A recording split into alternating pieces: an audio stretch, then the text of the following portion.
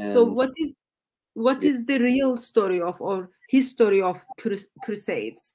Um, oh, crusade. So we, yeah, yeah, we, we, get we get to learn that at um, at school, and also someone mentioned in the chat they learn that as part of the history in British Museum. So they've got two rooms all about like Islam and its history, but mainly focused on like dress, all those kind of things. You just get out that room by thinking Islam is very peaceful, and then you walk through the room. It's all about crusades.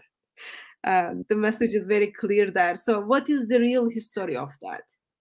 The real history of the Crusades goes back to the time of the Caliph al Hakim at the beginning of the 11th century. Yes, the first crusade began in 1095, but in around 1009, so almost 100 years before that, al Hakim destroys the Church of the Holy Sepulchre uh, in Jerusalem and he also levels a lot of other churches in the area.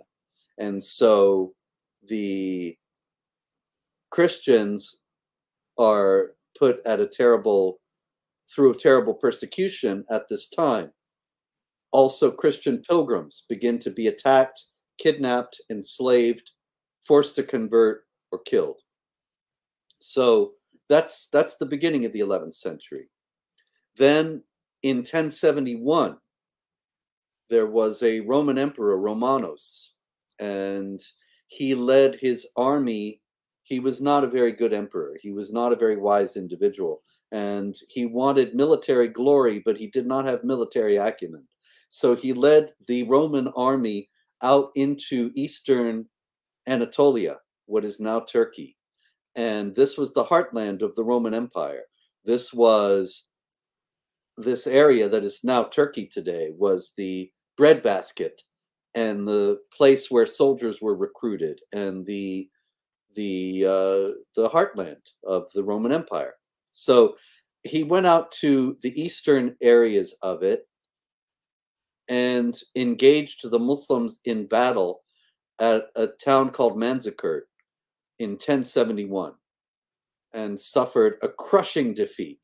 And he was captured. He became the second Roman emperor in the history of the Roman Empire to be captured by foreign forces.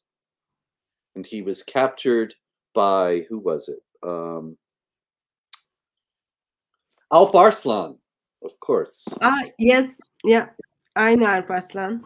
Yeah, so he captures Romanos, and he asks him. He he he he he's he likes to talk to him, and they talk every day.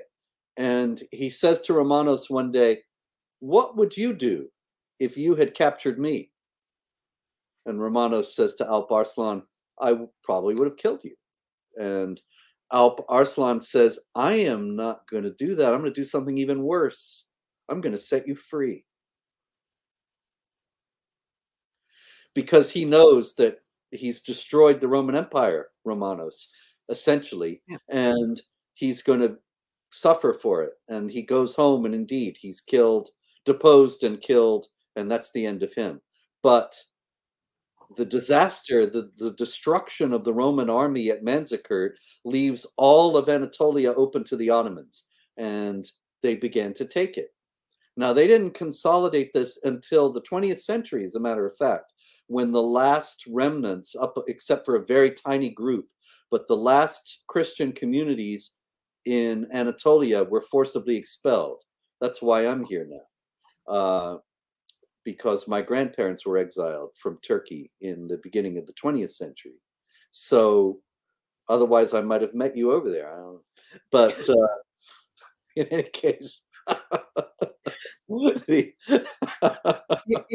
Roman Empire was deeply imperiled, and the Muslims were advancing through Asia Minor, and the Roman Emperor Alexios Komnenos appealed for help to the West and asked Pope Urban II to send troops because he couldn't recruit troops, you see. He got his troops in the past from Anatolia. But now Anatolia was largely under the control of the Muslims. So he couldn't even recruit troops to fight back and win it back. So he went to he he he appealed to the Pope, and the Pope called for the crusade in the year 1095. Now, the whole thing got out of hand in various ways. The first people who arrived were a bunch of children and priests and monks and things like that, uh, and they were massacred by the Muslims. But then the real soldiers arrived, and they began to fight back against the Muslims. Now, in the middle of this, they had disputes with the Emperor Alexios, and so it became not a matter of winning back the land that the Romans had lost. It became a matter of winning back the Holy Land. But it was indeed a reconquest that was attempted. It was an attempt to drive back the Muslim invaders.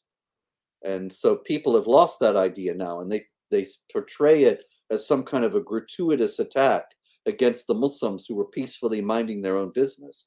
Actually, the Muslims were advancing and it was in order to stop their advance and to protect the Christian pilgrims to the Holy Land that the Crusaders came.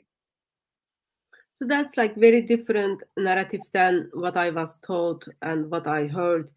You are telling me in beginning of 11th century as Christian persecution um, become higher, higher, Christians felt there is a response to there is a need for response and then therefore they were just responding to what Muslims are doing to the Christians as well as how Muslims are conquering the lands. Yes, precisely. That's exactly it.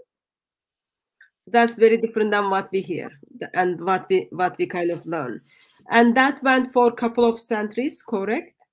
Yeah, the Crusaders took Jerusalem in 1099 and established Crusader kingdoms. One of them was called Outremer, and that was the longest lasting. And they were uh, they took Antioch as well, and the area of the Holy Land, and they held it until 1291. And then in 1291, the last Crusader kingdom was destroyed, and the Muslims reasserted their control over the whole area. But the Christians had been there before the Muslims, before the Muslim conquest. The Muslims conquered them and were advancing the Christians took a small portion back during the Crusades and then lost that. But the Crusades are very important for a number of reasons, and one of them is that there were incursions into Europe from the 7th century until the 11th, and then again starting in the 13th. But for the 200 years that the Crusaders were in the Holy Land, there were no jihads into Europe. And so it may be that the Crusaders saved Europe. I would also say the Romans, the Roman Empire, the Byzantine Empire saved Europe because they stood as a wall between the jihadis and the Europeans for so many centuries. But also the Crusaders saved Europe because they, if they had not had those 200 years, then certainly the jihadis would have defeated the Romans earlier than they actually did and driven into Europe, and probably all of Europe would have been Islamized.